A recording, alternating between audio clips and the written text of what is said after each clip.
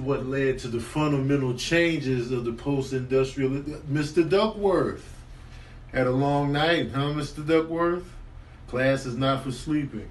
So the poets in this post-industrialistic time frame always held within a certain Mr. Duckworth.